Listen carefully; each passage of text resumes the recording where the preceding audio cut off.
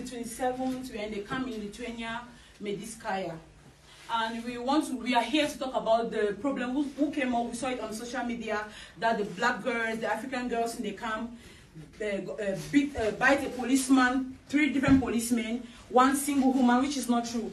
There are a lot of stuff going on in this camp who we need to make the world know and all the things that are happening. Firstly, the maltreatment. Secondly, the racism. Thirdly, pregnant women are dying.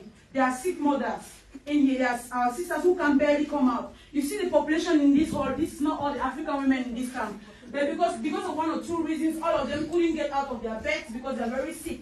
And when they are sick, and when we are sick, the only thing we get from the health facility is ibuprofen. No matter what your illness is, even if you have been taken to the hospital, you have they have nothing to give you but ibuprofen.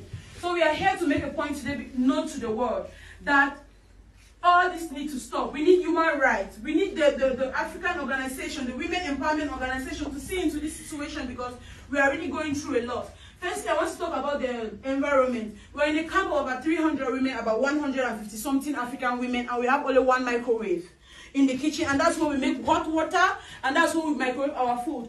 Imagine that they need to give food to 300 women and all of them need to microwave food in, food in the evening. Just imagine how long it will take. And you know now it's very cold, we don't even have the opportunity to take hot water because we don't have